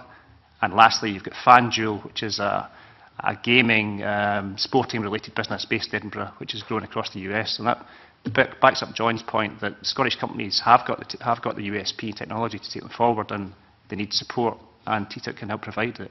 But also they need to avoid their cost being increased, and so policymakers have to consider that as well. Just- Excuse me, sorry, if, if, I'm sorry, but we've got lots of members want, want to get in, and, and c- could you please let me know if you want to get in, because um, eh, I know we want to have a bit of free, free flow conversation, but I have got many members and, and many other people needing to get into the conversation as well. Jamie, you've been waiting a while. Oh, well, thank you, and I'm sorry I wasn't here at the start, convener. Um, just in relation to what John Crawford said, uh, the Scottish North American Business Council um, explained that it had organised two roadshows in Scotland, um, and the key lesson from the roadshows uh, was the potential benefits for SMEs. Um, and uh, the, the message really was that the smaller you are, the more the um, huge obstacles which businesses face when doing business with the US, the, the smaller you are, the more these obstacles get in your way. Now, these negotiations have been going on since June 2013, and there's been seven rounds of negotiations have so far taken place, and the agreement is more encompassing than a normal free trade agreement because it just, it's not just about lowering of tariffs, but also about regulatory regimes. So there's an awful lot to, to be told about this. Now, we have received, the committee, some evidence from stakeholders that there's a lack of awareness across the Sp- Scottish business community about the TTIP negotiations. And I have to say that last week I went to uh, a briefing from one of our largest banks in Scotland um, on food and drink, a, business, a breakfast me- meeting. And uh, when I asked a question about TTIP, they hadn't heard of it, which I thought was rather astonishing. Um, and my question, I suppose, probably is to, first of all, John Crawford, I suppose, is to say, um, you know, what is the work going on to make Scottish businesses more aware of TTIP? Because you, you were saying yourself you needed another 5,000 SMEs to, to get involved with this. Is there enough, you know, we're halfway through the negotiations nearly now, um, or possibly, is enough being done here to make people aware of all of what this, this agreement actually means in terms of opportunities for, for businesses, especially? So just to, to go back to what I was saying, I think it's really important that the national agencies, alongside industry channels like the Institute Directors and CBI and the Chambers of Commerce and the Business Gateways, that we, we, we collectively understand to get a better understanding across the sectors of what the implications are for our companies and really help to you know, get the message out. Um, but it, it is a challenge. But to go back, you know, most of our Scottish companies are small and medium-sized enterprises, very small ones, so we absolutely have to work the channels. Uh, and it's not just TTIP, it's, it's trying to get them much more internationally competitive. And that, that, that is about the only thing that can really improve the Scottish economy. Can I, can I just add something in, in, into that, Jamie? The Scottish Chambers of Commerce, when I, we asked them to come to committee, said they didn't think they were in a position, you know, to, to have enough information to, to give to the committee. So there's maybe a bit of a job of work to, to be done there, and we did get some written evidence from the CBI as well. Jamie, sorry. Can I, want to come can I just ask something? Or can I go on? Of course you can. Um, well, uh, independent studies um, have projected that the EU exports to the US would increase by 28% each year as a result of, of a good TTIP agreement. Um, and it also just predicts that the UK economy would given a, be given a boost of 10 billion each year, and I think Scotland was something like 1.7 billion. Um, why would it, surely if, if, the, if the independent studies have projected that EU exports um, would increase by 28%, why would the UK only, only benefit by 10 billion? And surely this would be an, an increasing figure, would it not? I would, I would, it's very, I, I could, oh. it's very hard. Uh, the point I made earlier on evidence, it's very hard to give precise figures, but the harsh reality is if, if, if you saw an increase in exports of that level, then the benefits to the UK and Scotland would be very significant, uh, would be as far as I'll go. Okay, Jamie? I, I, I don't have anything else at the moment. Okay, I've got Willie Coffey. Can I just, w- one last point? Very quickly, Jamie. Uh, we, we talked about businesses. Um, I would just like to discuss with, with witnesses the possible benefits to consumers in Scotland uh, from a good TTIP agreement. Allan. uh, the benefits to consumers would be, they could hopefully be, when the uh, retail sector, which is thriving at the moment, the, the, the costs of American goods coming into the UK would, could be cheaper uh, and also the those who go on holiday to the States could buy um, Benny's jumpers at a much more reasonable price than they can currently and other goods over in Scotland. Okay. Okay, Jamie? Yeah, Willie Coffee. Much convener, good morning to the panel. Um, I mean, there, there, there have been some precise figures shared with us round the table already. Alan, you mentioned a potential saving of 8 billion Eh, and both David and Benny have mentioned some of these percentage duties and so on as high as 16% and higher. So uh, if, if these savings are realised, I'm absolutely certain that that's welcomed, to be welcomed. But there is a quid pro quo, with TTIP, isn't there? What is, what is America getting out of this? Presumably, they are also looking forward to harmonisation of regulation and reducing tariffs to perhaps zero. And I suppose my question from a naive point of view is, why has it not been possible up until now without this thing called TTIP being invented? If that was always possible to do, what were we waiting for so long to, to try to, to achieve that? Um, and isn't a concern that was expressed at one of our previous sessions that what's happening on the back of TTIP is providing guaranteed and legal access, access to our services, products and services within the European Union. And that's where some of the concerns are coming from that have been shared with the committee previously. So, A, what's America getting out of this that they couldn't already have gotten out of this beforehand without a TTIP? And are, are the fears genuine about giving legal access to services within the Union that hitherto may not have been available? Um, what's America getting out of it?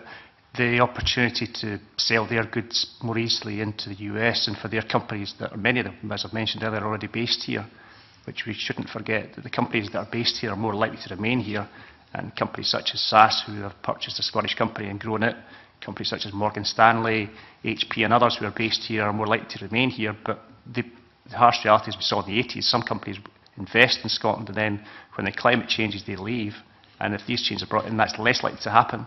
Uh, which is good news for your constituents and uh, the Scottish economy. And it frees up trade both ways so that Scottish businesses can sell into the US. But what's in it for the US is a greater access to the European market.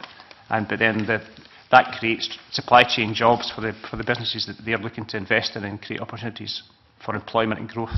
But is in that all Scotland. coming about through TTIP? I mean, harmonising regulations and reducing tariffs was always in the agenda. But the harsh, imagine, no? the harsh, the harsh reality... But now it is, though. That's, that's my Yeah. point. It is now. So what is what is the big I- gain or the big win for, for example, the US Yeah, to agree a TTIP arrangement with the European because it's very difficult to achieve those, those, those harmonies without having some kind of trade agreement running alongside it. It's not as easy as that, as that sounds. Many trees have died in the, in the, in the cause of um, trade agreements over, the, over, over decades, and it's not as easy to achieve as, it, as, that, as that sounds. And the last point about the legal challenges, um, since 75, the UK has negotiated 94 bilateral treaties, almost all of which included ISDS provisions. And it's important to note that UK investors have brought at least 43 ISDS claims to protect their investments, and no, no ISDS challenge has ever succeeded against the UK. So whilst at the last meeting, ISDS was raised some great bogey that would allow businesses to, or sorry, allow governments, sorry, allow businesses to attack democratic governments. The harsh reality is ISDS is it's the reverse what it's used for. It's for business people like Benny and others who face hardship from governments. They're there to, they're there to protect them, which is sometimes forgotten in the argument put forward by those who are opposed to it. Uh, David, I think you would come in because you've battled with tariffs, your industry's battled with tariffs for years and maybe give you a bit of an insight into what's happened Yeah. so far. Yeah, I've, I've, I've lived this for a long time, Mr. Coffey, so it's, it's, it's, it's, a, it's, a, it's a really interesting question. I think you have to think back and look at the context. Why has this not happened before? It's not happened in recent years because, because of an economic recession, and during that time, people become more protectionist uh, in terms of uh, their own industries rather than looking outward and looking for trade liberalisation. Um, things like beef hormones, Airbus and Boeing have been huge trade disputes between the EU and the US, and there was no way of starting this sort of negotiation until those sort of issues had been resolved or at least parked in, in some sort of way. So the context has, has gradually changed, and that's why there was an opportunity uh, to do something uh, at, this stage. The regulatory approaches side of things it doesn't make headlines, but the difference in regulatory approaches between the EU and the US shouldn't be underestimated. Um, and getting different regulators round the table to look at this sort of issue is a, is a long-term uh, piece of work. People are protective of their, of their own patches and their own approach. And that's why, from a, from a whisky industry perspective, we've tried to, to look at this slightly differently by putting up a joint proposal with our American colleagues from the American spirits industry who've already spoken to their own regulators about it as we've spoken to, to the Commission um, on our side to try and cut a way through it because it is very difficult. Even in a, in a, a category like whisky or the, the wider spirits industry, there, there are different interpretations, different approaches. And so regulatory coherence is something that is a, is a prize, whilst it may not uh, gain many headlines the day after a, a TTIP negotiation is concluded. So is, is, guaranteed access to our markets and services then not a concern that you, you share? I think fr from the, the US side, I can only speak from a spirits industry perspective, this is not going to dramatically increase uh, their access to the European market in the same way that when I started, I'm not suggesting this is going to have a dramatic increase in terms of Scotch whisky exports to the US. It's, it's that bigger picture for us. Um, from the US side, they are looking at um, to make it easier around labelling, certification and testing in different member states, not suggesting this is a UK issue, but in different member states, in the same way that uh, we would like to see a, a more harmonised approach in those, those sort of areas across different US states as well as at the federal level. Okay, Scott. I think um, on the on the regulatory side, uh, I guess the concern was maybe that it's a race to the bottom in terms of uh, lowering the standards, and, and the US could potentially uh, move us to uh, uh, a less regulated, less quality type framework. Uh, I'm pretty sure that's not going to happen. Uh, I think uh, regulation change is a difficult thing uh, for us at any stage, and we're going through some major regulatory uplifts at the moment in both the material, medical devices regulation and also in the uh, in vitro diagnostics uh, regulation, and um, that has primarily come about because of the PIP scandal on the, on the im- implants. So it's unlikely that uh, the European uh, Union are, are, are going to lower those those hurdles. So if anything, the US are going to have to raise their game if they want to deal in Scotland. Um, do they have the ability to do that? It's, having lived in the US, it's going to be a tough one for them. It would be much easier for them to get a footprint into the into Europe to, to start manufacturing their products to that higher regulation. Uh, so that's that's the potential downside for the US and maybe why they might not be that interested, but they won't be able to sell their products into Europe unless they comply with these new regulations anyway. Um, access to public services, um, I- you know, I think uh, we, we all know it's very difficult to access the NHS, uh, be it a US company or, or be it a, a, a local company. I don't think that's going to stop, and uh, I think uh, having worked with the NHS now for, for several years, uh, again, it's, you're not going to be able to sell in unless you've got the highest possible regulatory standards. So I think again, that's it's going to be something that will uh, will will be of benefit to us. The US might just walk away from the table and just say, "We'll just keep doing what we're doing." If if we push on that one, I think that would be fine. But you might lose out in some of the the tariffs.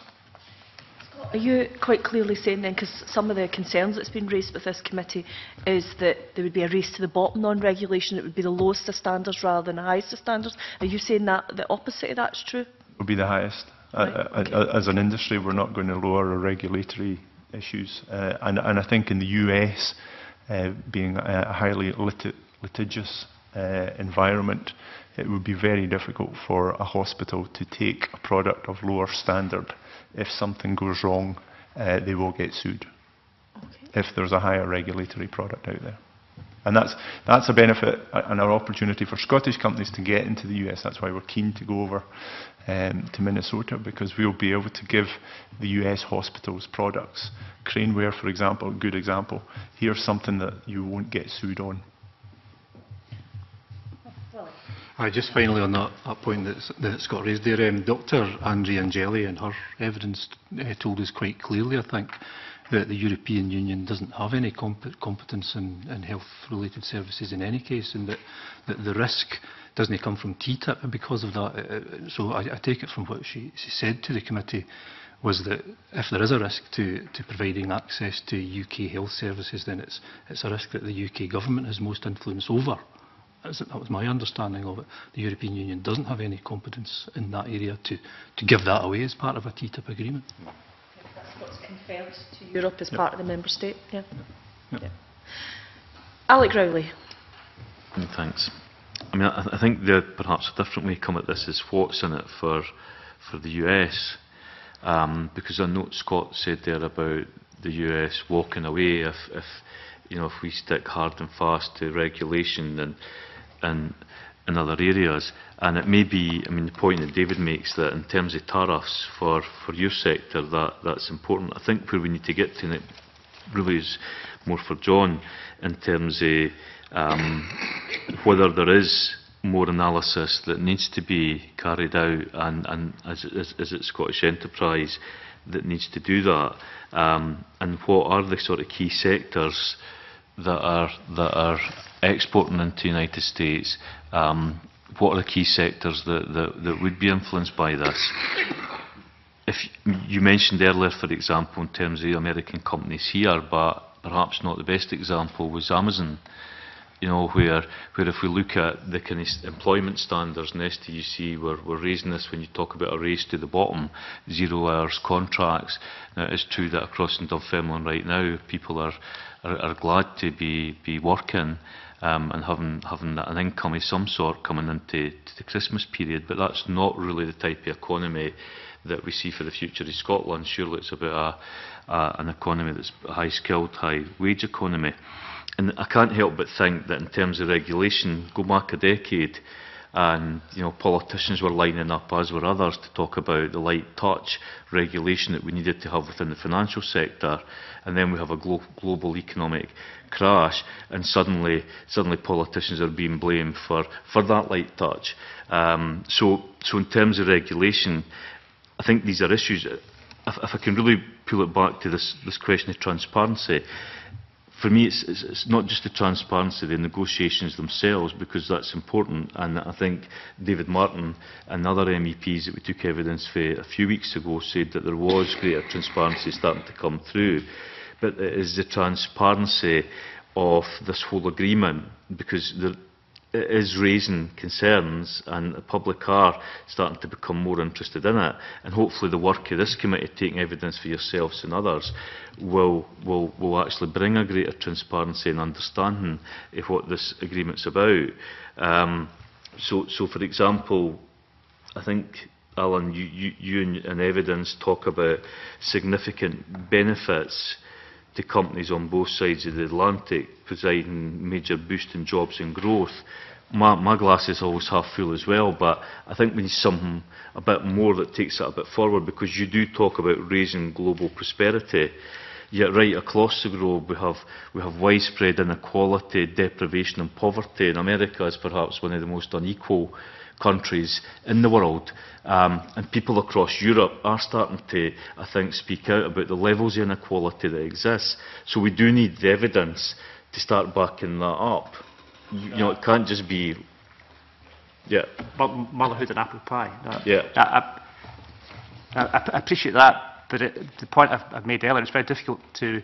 The, the, the, the, the, the evidence shows that the, the reductions in tariffs will allow freer, fair trade to flow, which will benefit exporters in Scotland. Reductions regulations will reduce the duplications of costs for companies who currently have to comply with European regulations and then are put off by the costs of considering going across the Atlantic, as John mentioned. It's a very, uh, it's a very big step to make to set up your business in the US and it's quite daunting to do. And if you're facing increased costs on new regulations, you might put it off.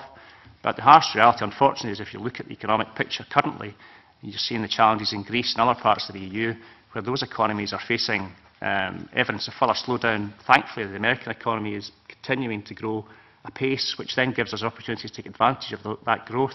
And Scotland has, um, as David mentioned, has built up great historic links with the US, so the opportunities are there to try and build those links, and the TTIP can help achieve it.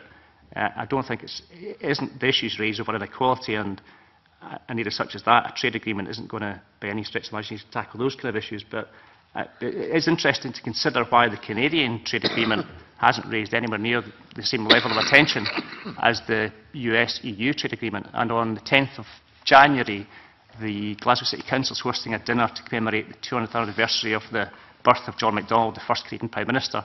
And Canadian foreign ministers are coming up to try and um, push forward the benefits of trade between Scotland and Canada.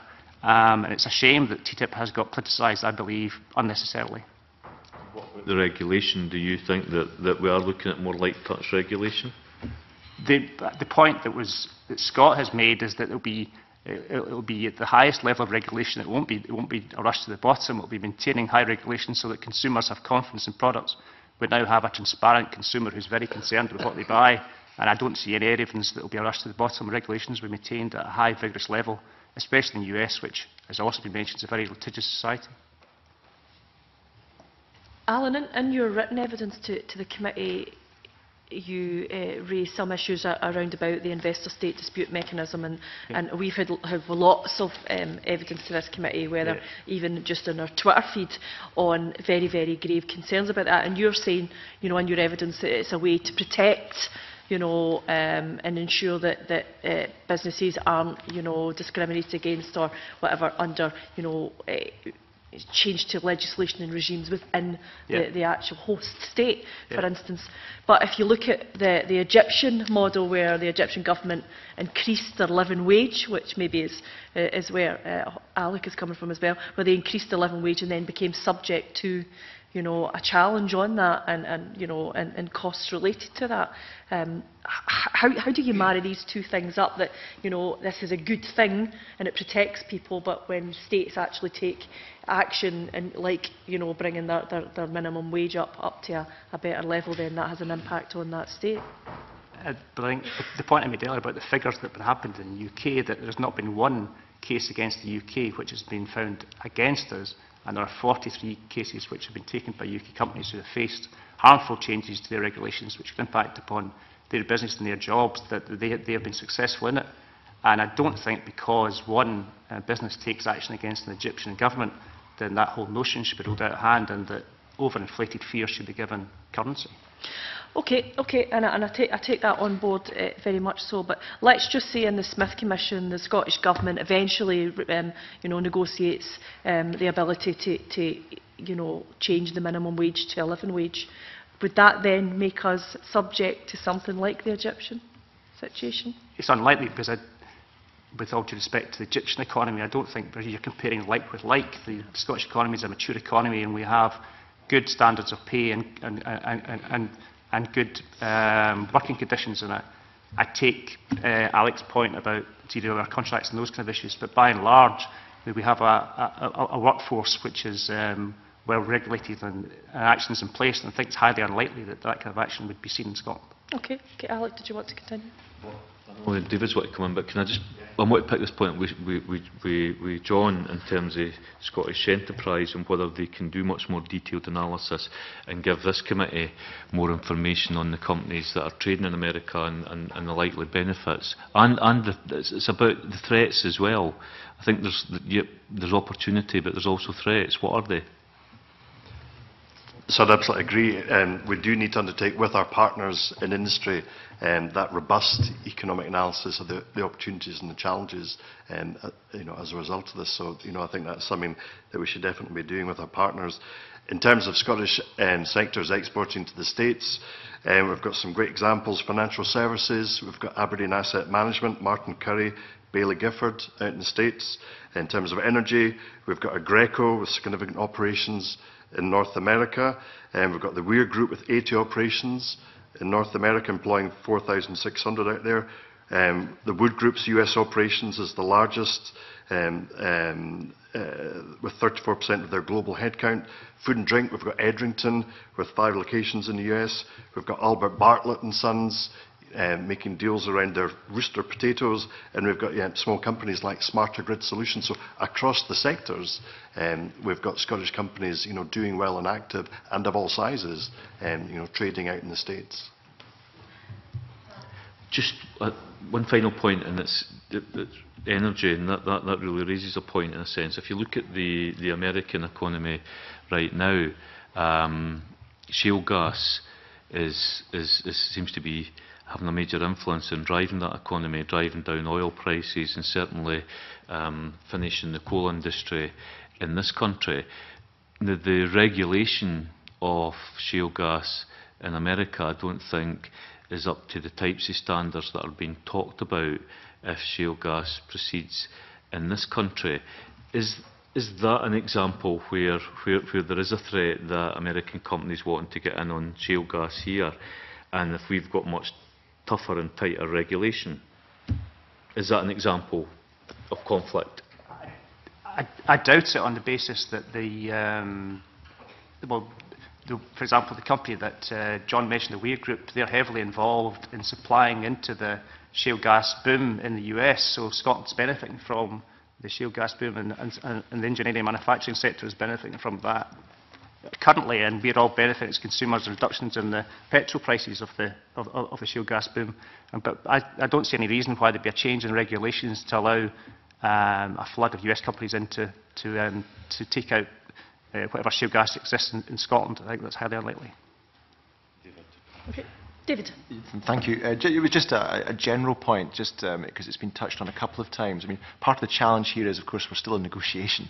And so we don't actually know what the end point of that is, and that creates uh, questions and uncertainty, and that, that's uh, understandable.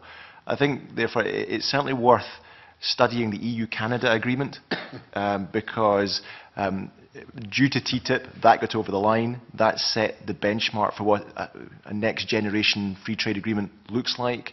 That's probably the sort of uh, area that TTIP will end up in, perhaps going further. But in terms of trying to understand what will be in that agreement if the negotiation comes to a conclusion.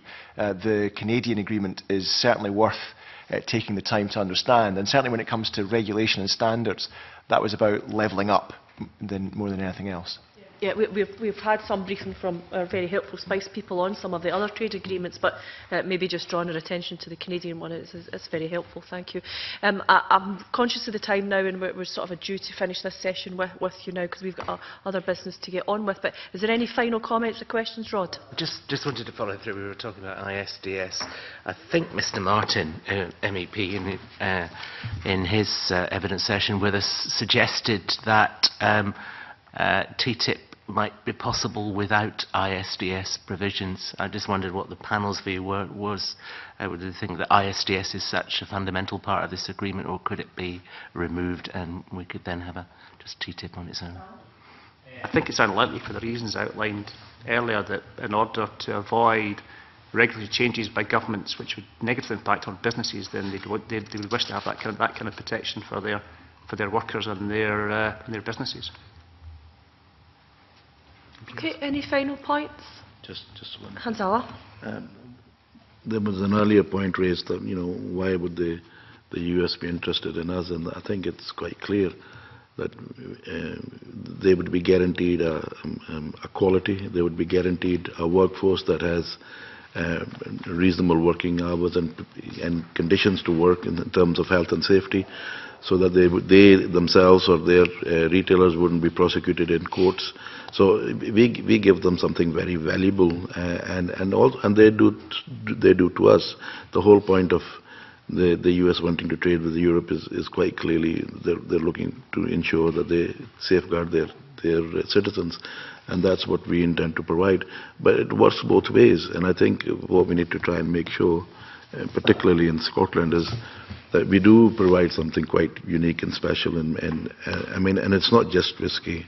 I mean, you can go from Arran cheese to yogurts to, you know, we can provide stuff that nobody else in the world can provide. And, and that, I mean, if I, a layman, can recognize that, I'm sure in, in international business communities will also recognize. And I think, therefore, uh, there is a, a call, and I think there's a greater call for us to try and make sure that we press home that message and we do uh, look at ways of uh, enhancing our position in terms of how we trade there.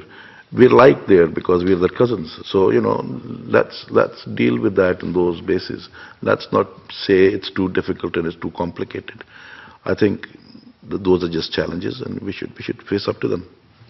I think just to, to, to finalise this, this session and to, to add to that point, the, the Scots have always liked a, a good deal anyway, but we're rather canny and that's why this committee is looking at every aspect of, of this agreement um, because you'll understand that over the summer we were lobbied very heavily on the negativity of, of the, the process so it's been very very valuable to hear you know the possible opportunities in that um, and some of the, the pitfalls but certainly you know um, your experience and your input has been very very important in informing that process.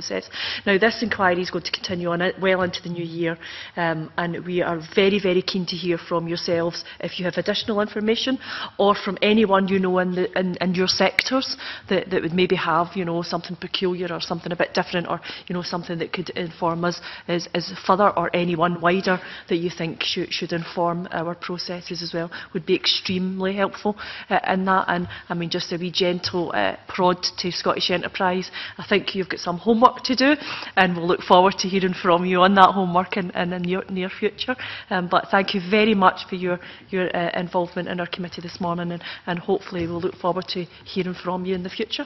Thank you. Um, I'm going to suspend uh, to allow the committee to go into private now and can I thank everyone for coming along.